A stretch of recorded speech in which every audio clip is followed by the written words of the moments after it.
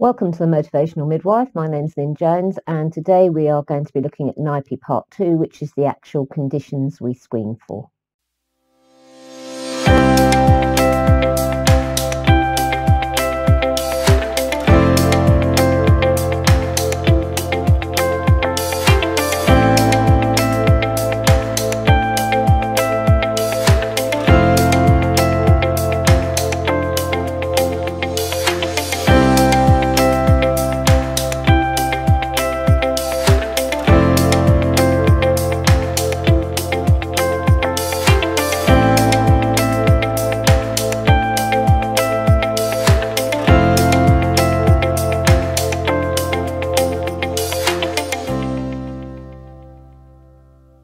So, newborn infant physical or NIPE part two. Let's have a quick recap on what it is. So it's part of a national screening programme. It's done at two points in time. The first within 72 hours of birth, which in a lot of cases happens within the hospital setting before um, the baby goes home or within a clinic within a hospital setting. And then it's repeated again uh, at six to eight weeks, very often at the GPs or health visitor clinics. It's looking for issues with four key areas. So issues with the heart, hips, eyes, and if it's a male infant, testes. And all the information in all three of the um, NIPE videos that we're doing is uh, taking information from the NIPE screening program handbook, which is available online. And I have put a link in the box below to it. So first thing we'll look at is the eyes and, and specifically we're looking for congenital cataracts, about two, 200 babies a year born with that. And a cataract really is um, an opacity behind the lens. Um, and if you should pick one up, to be fair, um, you're likely that if you've got one in one eye, there's a 50% chance actually that both eyes will be uh, affected. So when we're looking at risk factors, um, we're thinking um, of things like family history and particularly first degree relatives. Um, and even if you find no issue on the NIPE itself, if there's a first degree relative that has um, a significant problem, so we're thinking of things like uh, aniridia, so no iris there, uh, coloboma, where there's a malformation, um, or retinoblastoma, so that's a, a malignant tumour of, of the retina any of those sort of things, um, if there's a particularly a first degree relative with that, it may be worth um, seeking specialist um, opinion anyway, even if you don't pick anything up on the the NIPE itself. So any of those sort of genetic syndromes uh, as well that put babies more at risk of eye problems, so things like trisomy 21. Um, if the mother's been exposed to um, some viruses, so things like cytomegalovirus, rubella, um, they can also um, predispose this baby to serious eye problems. Um, sensorineural hearing loss, so this is where there's actually um, an abnormal abnormal function of the um, nerve in the inner ear. And if the baby's sort of neurodevelopment issues as well. Um, if there is a, a family history of um, eye problems that actually develop not necessarily at birth, but quite in early childhood or infancy, it really um, is imp- important to just uh, make sure that the parents know how they can access a quick referral um, should things start to um, develop on their own baby. And again, as I said, if you if you've got any concerns, even if you don't find anything on a NIPE, it's often worth seeking that opinion from a, a specialist. Um, so before the examination, it's important that we discuss the screening test, gain consent from the parents, um, informed consent to go ahead with the examination. Um, and Ideally, towards the end of pregnancy, it's a good idea to refer parents back to that you and your baby screening test booklet that they would have been given antenatally, because that has not only all the tests that are offered to them as the pregnant woman, but at the back it also has all the tests that are offered to the baby, including the NIPE. Have a good look at the uh, mother's obstetric history and mode of delivery. Uh, were there any issues at birth, um, gestation of the baby? Was the mother exposed to any um, infections during pregnancy? Have a look at her family history. Um, check the scans. Was there any issues flagged up on scans? Very unlikely from an eye point of view, but other things can be picked up and you know really you're just establishing are there any risks for eye disorders with this particular baby? And before you do anything else you need to make sure you've got your ophthalmoscope ready um, and you're assessing the eyelids to make sure that they they look normal. For the ethnicity of the baby remember your um, so maybe uh, chinese babies um, often have uh, their uh, epithelial folds are often more um, pronounced. So um, that would be normal for that baby's ethnicity, but maybe not for a different baby. So assess the eyelids, uh, make sure that there are no abnormalities, that there's no birthmarks, port wine staining, uh, any sort of birthmarks around the, the eyes or close to the eyes um, or eyelids uh, really do warrant uh, an opinion because they can cause um, issues for the baby and they can also um, interfere with the baby's ability to open its eyelids. If a baby's had an instrumental delivery, often the eyelids are quite swollen um, and certainly if this test is being, um, screening is being done within the first 24 hours, um, which very often, certainly where I work, it's it's often done within that first 24 hours. Um, babies may not yet be opening both eyes um, fully. So you need to make sure, and this seems obvious really, that there are two eyes there. And it seems like a very obvious statement, but to be fair, unless you actually see two eyes, you can't be 100%, 100% certain that there are two eyes there. So if the baby hasn't opened its eyes, you do gently need to um, part the eyelids to make sure there is actually an eyeball in both sockets. Um, symmetry of the eyes uh, and clarity of the cornea. Um, so, you know, it, it, the diameter of that is similar to the diameter of your uh, little fingertip. So ideally you want a nice settled baby.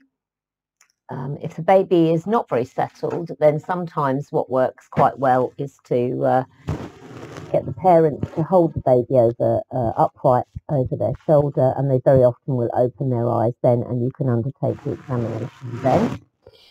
You really want the room, um, the lights quite dim, um, and uh, ideally shut the curtains, dim overhead lights, and you're bringing the ophthalmoscope um, to the baby about an arm's length, your arm's length, obviously not the baby's arm's length, uh, away from the baby's face and direct the light uh, from the outside towards the baby's eye. And if you need to part the baby's eye, then um, that's perfectly acceptable to do. But ideally, if the baby can open its eyes spontaneously, it's it's better for you. And what you're looking for is red reflex. You're also looking to see does the baby's um, eyes react to the light. Uh, excuse me. So look through the ophthalmoscope and very much like when you take a picture with a flash, um, you will get a little red eye. That's essentially what you're looking for. You're looking to see is there any shadows on um, in the eye on, on that um, lens? Can you see anything there? Um, and what you're looking for really is, is a, a nice uh, red slash pinky um, circle looking back at you.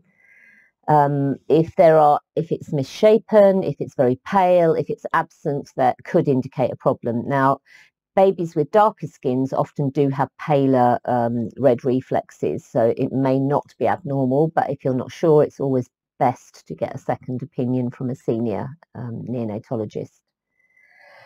I've, excuse me, I've had um, only one baby in my career that I couldn't find a reflex on at all. Had nothing, absolutely nothing. Um, when I was looking, no, no pale reflex, no, just nothing at all. And that was on a, a Asian baby, and that baby had an urgent ophthalmology re- referral um, within about two hours of my examination. It went straight across to um, the ophthalmic department. Um, I didn't actually find out, unfortunately, what the outcome was for that baby. And then when I was a community midwife, uh, long before I'd undertaken my NIPE training, I at uh, I went to see one of my ladies that I hadn't seen as I'd been on annual leave. It was her 10th day, so it was a discharge visit. And the parents had just mentioned that they could see a little white dot in her eye. And it wasn't obvious initially, but when I took the baby over to the window and the light shone on, I could see this tiny little white dot in the baby's eye.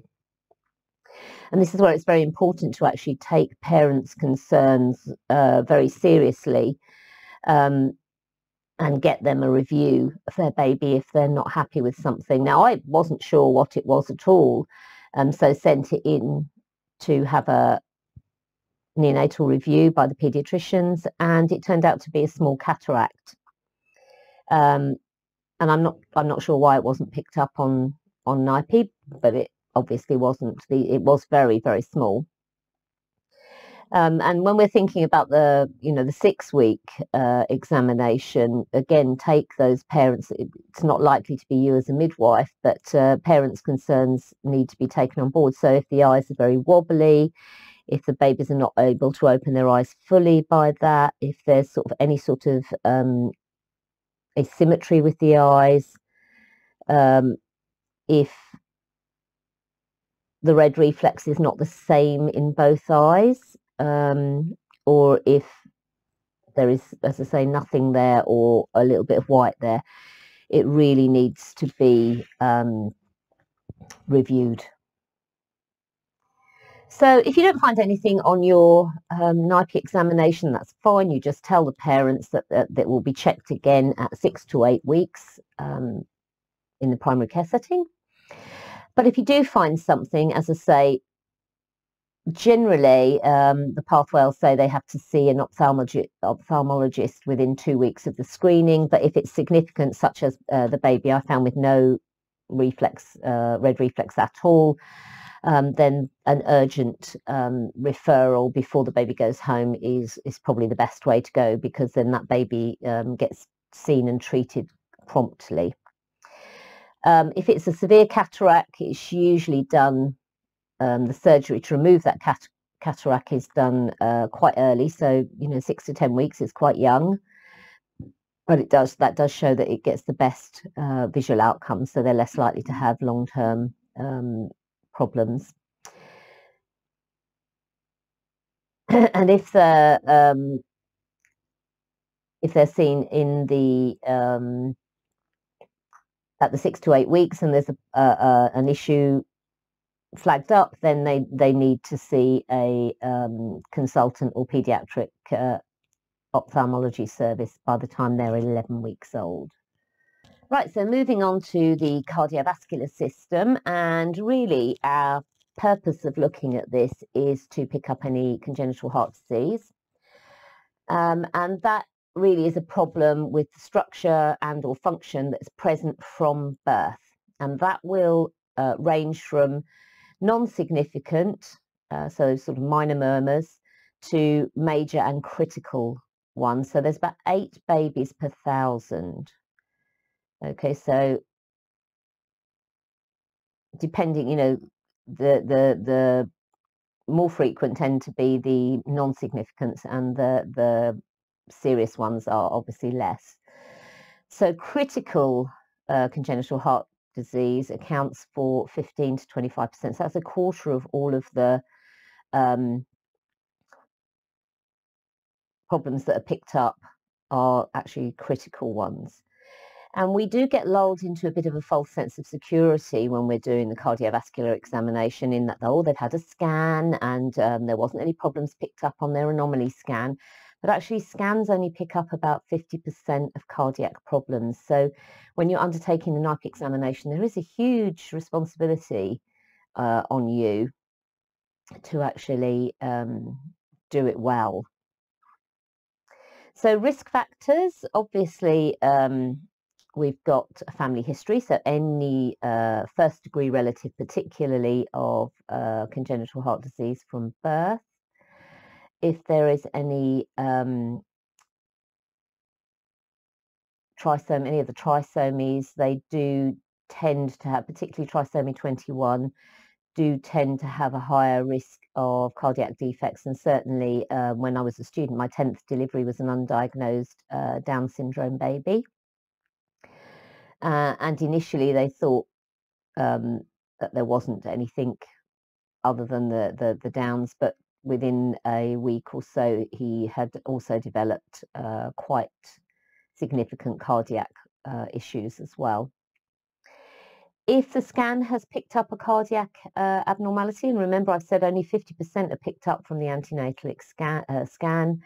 and again, similar to the eyes, if mater the maternal, um, the mother's been exposed to viruses uh, such as rubella, particularly rubella during early pregnancy, um, if they have got underlying medical conditions, things like diabetes, um, epilepsy, uh, lupus, those sort of things can uh, also predispose, particularly with diabetes, particularly um, uncontrolled diabetics.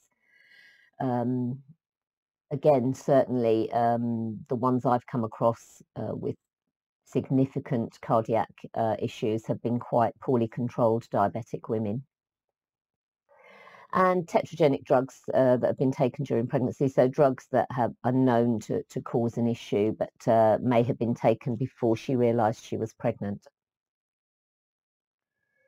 So before the examination, as with any aspect of the NIPE, take that detailed uh, medical and obstetric history, including any medication she's on, because we've said some of those medications could be tetragenic.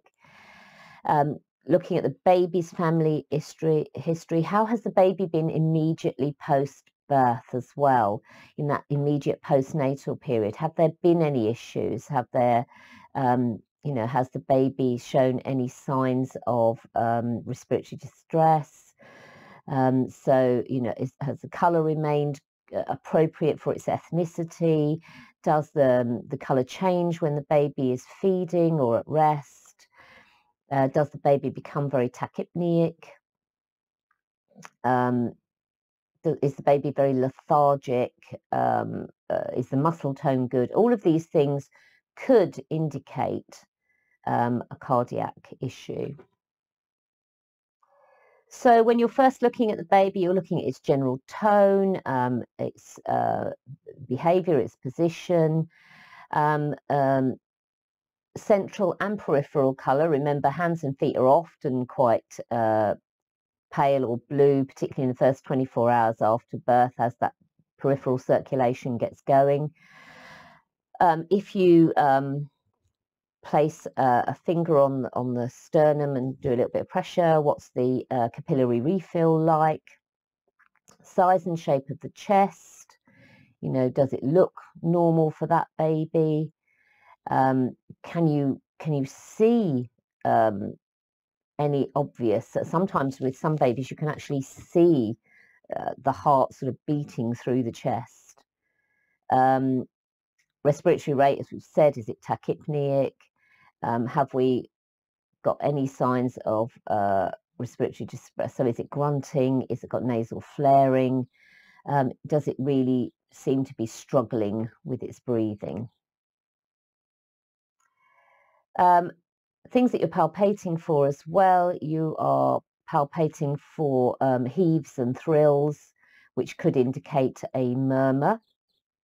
You're um, palpating both the femoral and the brachial pulses for strength, rhythm, and volume. So your femoral pulse, um, uh, your right brachial and your left femoral should be equal in strength, rhythm, and volume. Um, so we've said about capillary refill. Um, where is your cardiac apex? Normally, as say, if you would put your hand across um, the baby's chest to get the point of maximum impulse, and that's usually the apex, which is in most instances is about a centimetre below the left nipple. Um, palpating the the liver. Um, so it's not uncommon to feel a little bit of, of liver, but ideally you don't want to feel anything. But if there's an if you can feel an excessive excuse me amount of liver, it may be linked to congestive uh, heart failure. And I say if we if you have your hand on the baby's um, chest, are you feeling any uh? So is it really the chest really sort of rising up to to meet your hand, a little bit like me today, breathing, um, or can you feel like a, a cat purr under your under your hand, which is is um, known as a thrill, and they could be linked with uh, cardiac abnormalities.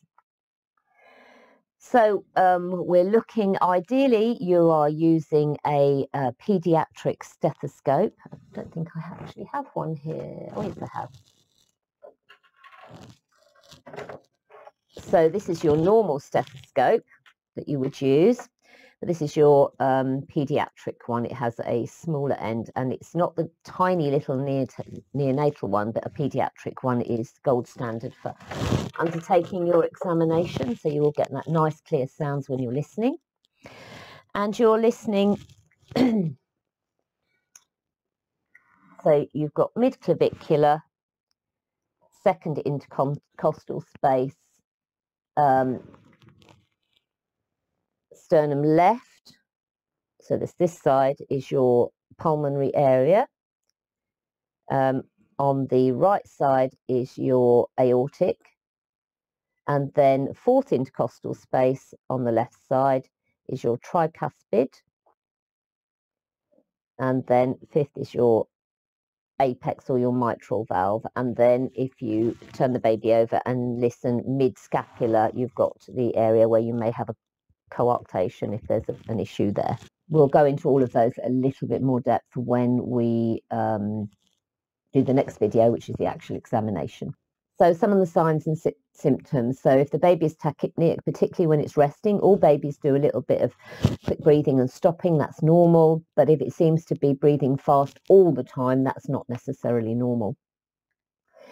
Um, so obviously if it stops breathing for um, periods of more than 20 seconds or that's associated with a change in color that could you know needs a, certainly needs a view um, if we've got any signs of respiratory distress so either uh, intercostal subcostal sternal or uh, suprasternal recession so that, that the little muscles between the ribs are sucking in. The baby's really trying you know, it's obvious that a baby's struggling to breathe. Uh, you've got nasal flaring, so those nostrils are really flaring out as that baby is trying desperately to get some extra oxygen in. If the baby is uh, cyanotic centrally, so centrally blue or pale, so say if you can see visible um, pulsations, heaves, thrills over the precordium, so this sort of area, if you're struggling to feel the um, the femoral pulses, um, sometimes that is just a positional thing, and it it, it does take practice to really um, get good at feeling femoral pulses. And often, some of the one of the things that people do is they actually apply too much pressure, so they've occluded the pulse, so you you don't feel it because you've actually blocked it off. So um, you just need enough a light touch, but enough pressure that you can actually feel that pulse. And if you hear uh, cardiac murmurs or extra heart sounds, and we, again, we'll go into those in a little bit more depth when we um, do the next video. So just looking a little bit about murmurs, significant murmurs uh, tend to be very loud. They're, they're heard over a, a, wide area. They have a kind of harsh quality to them, and they're often associated with other abnormal findings as well. Um, and your uh, benign murmurs, your physiological murmurs. So think about what's happening um, physiologically when that baby is making that adaptation from intrauterine to extrauterine life.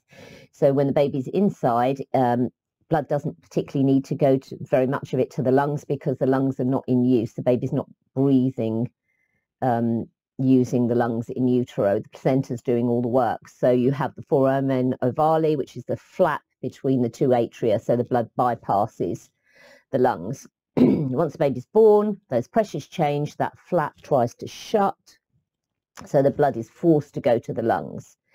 Now, it can take, you know, a good sort of 24, 40 hours for that flap to completely shut.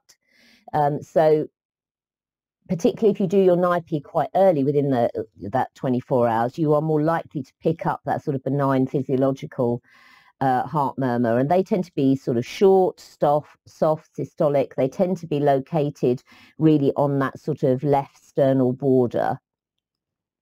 Um, having said that, they might be absent in a baby that has got a um, significant defect. So if you pick up um, no problems at all, if there's everything seems fine, then the baby will just be reviewed again at six to eight weeks. Um, but if you have any concerns at all, um, particularly in the early neonatal period, then it, the baby does need to be reviewed. And the um, urgency with which the baby will get seen uh, will depend very much on the clinical condition of the baby. now, when I was a community midwife, and again, long before I'd done uh, my NIPE training, uh, I saw two babies about two or three weeks apart, not my ladies, both day 10, just going out to uh, do a discharge visit on them. And the only symptom both these babies had was that they seemed to be quite tachypneic. They seemed to be breathing quite fast for a 10 day old baby. Um, and I was thinking maybe they'd got a bit of a chest infection. And uh, so I sent them in for a review, sent them to hospital for a review by a paediatrician. Um, and they both turned out to have cardiac issues. One of them quite serious. It was blue lighted down to Great Ormond Street and in surgery fairly quickly. Uh, and that really did um, unnerve me because I thought, gosh, if I hadn't have sent that baby in, would that baby have then become a cot death baby? Possibly, who knows? Um, so it is important, it is crucial, I, I feel, that, you know, we do make parents aware of those key signs and symptoms to look out for um, to get their baby reviewed again. So looking at developmental dysplasia of the hips, we're really looking to pick these up early so we can minimise um, the long-term complications because we'll get timely ultrasound scans to confirm the diagnosis and expert uh, assessment in and treatment if it's required nice and early. So about three to five per thousand babies um, require actually uh, intervention in the way of uh, a harness, uh, particularly a Pavlik harness. Um, and of those babies, maybe only one or two require actual surgery. But if we miss picking up those um, unstable hips and therefore treatment's delayed, in the long term, we end up with lots of complex surgery um, or uh, long-term implications is that they have long-term mobility problems, pain, osteoarthritis um, in their hip and their back. So early intervention is crucial. So if you've got a first degree family relative, um, particularly, or the baby has, particularly siblings um, that have had a hip problem that, that was either present at birth or when they were a toddler, young child that did require more than just sort of observation or a, a double nappy, if they were treated with splints or harnesses or operations, then they they that is a significant risk factor, and all these babies would automatically be referred for a hip scan or should be automatically referred for a hip scan, which is normally done within um, six weeks, I believe. If the baby is a breech birth or has been breech uh, around 36 weeks or later, irrespective of which way it actually, so even if it was um, a breech and she had successful ECV or it rotated on its own to cephalic, um, that baby will still need um, a hip scan. Um, if it's a breech presentation at time of birth um, from 28 weeks onwards, uh, again, hip scan required. And if you have a multiple uh, birth, so twins or triplets, and one of them or more of them have been breached, then all of those babies will require scanning. So as with all the other um, things we're screening for, review the mother's uh, medical and obstetric history, family history, is there any uh, NIPE hip risk factors, and have the baby on a nice uh, warm environment on a firm, flat surface with the baby undressed and settled because a relaxed baby is much easier to do a hip examination on than one that is crying and screaming. Um, before you do anything, you're looking at the symmetry of the, uh, the, the legs, the leg length. Um, if you flex the knees um, up, do the tops of the knees meet. So if I have my baby uh, lying flat and I put its feet flat on the floor, do the tops of my knees, are they uh, equal or have I got one higher than the other or lower? Um, is there any restriction when you're abducting the hips? Um, both the Barlow and the Ortolani test uh, should be done on each hip separately. You will see some paediatricians doing them both together, but that is poor practice. They should be done one at a time so that you're assessing each individual's hip st stability. Your Barlow maneuver, so your Barlow maneuver is the, the push down one. And again, when we do the actual examination uh, in the next video, I'll go into those in a bit more detail, but the, that's the pushy down one. And that's looking to see if a hip is dislocatable. So can it be pushed out of the joint? And the Ortolani, which is the swingy round one, uh, that is um, used to, uh, if a hip is already dislocated, it will clunk back into place. Um, we used to years ago use uh, skin crease symmetry. Um, so uh, the creases on the the back of the the legs equal round near the buttocks and that, but that's not really part of um, the NIPE now, so we don't use skin crease uh, symmetry. So again, if there's no issues um, on your um, examination unless uh, the baby has got risk factors, in which case you will refer it for a hip scan appointment anyway. Uh, that baby will be seen again at six to eight weeks. Um, screen positive is um, deemed if you feel uh, an abnormal clinical hip exam, so with or without risk factors. Okay, so if you if you get a clunk or you can feel that that hip a bit dislocating um, or you have any of these key things difference in leg length um, all of those things uh, then that would be deemed screen positive and you'd follow the the NIPE pathway for that. So um, you're aiming to get your um, scan results uh, within the target time scale for um, babies who are very preterm, so between you know less than 34 weeks, um, you're aiming for that to be done between 38 weeks and 40 weeks of their corrected age. Um, and uh, more than 34 weeks, we the, there should be an outcome decision by the time the baby is six weeks old. Certainly, um, at the trust I work at, your our time scale is to get that baby scanned within two weeks. And we have a one-stop clinic, so it has the scan and then sees the, the paediatrician as well. And I think I've just gone through all these bits, haven't I? Um, yes, I have.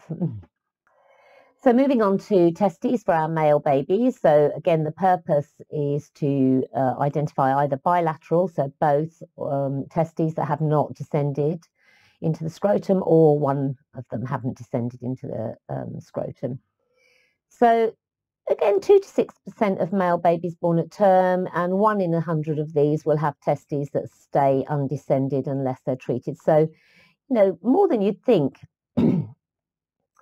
if you've got both undescended testes, then it could be uh, an indicator of ambiguous genitalia or some sort of endocrine disorder. So that would warrant really um, a referral quite quickly. I would get a senior um, pediatrician to come and review that baby fairly quickly.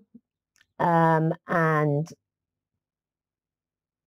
you need to exclude um, congenital adrenal hyperplasia um, with ones that you can't, if you can't palpate both of them.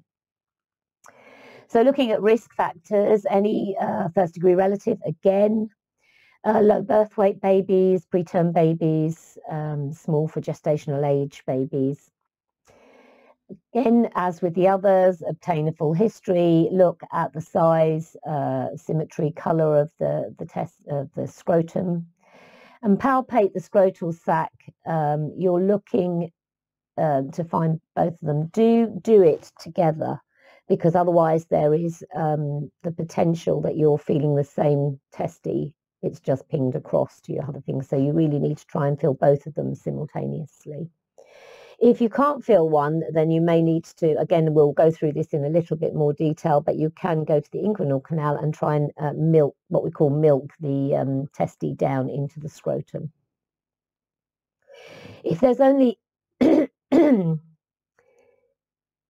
you can feel both of them, but they're high, um, then manage it as you would a screen positive finding.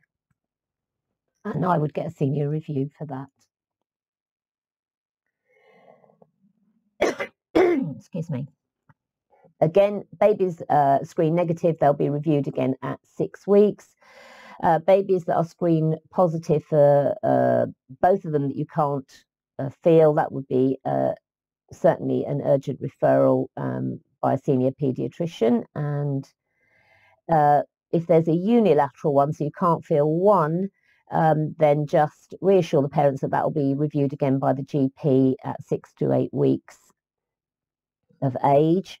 Uh, and if uh, it's persistent, um, the GP would continue to see that baby again at maybe four months, four to five months, at which point it would uh, be referred for possible surgery. So key points to think about when you're doing your NIPE is we must gain informed consent, that we take a full history, both family and obstetric, that we have a nice warm environment to undertake the examination in, which is um, and uh, uh, with a bit of privacy, which is a challenge in hospital settings, definitely, that we have a firm, flat surface to undertake the hip examination on. If you pick up anything that you are doubtful of, then obviously get it reviewed, a senior review, and then document all your findings um, in the uh, NIPE Smart system, your trust notes, your baby records, uh, be they electronic or handheld, and make sure you share all that information with the parents.